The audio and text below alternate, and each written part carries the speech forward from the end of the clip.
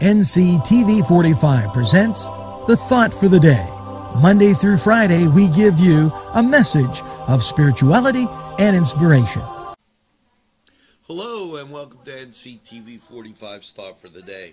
Today's thought Redeem me, O Lord, and have mercy on me. My foot stands on level ground.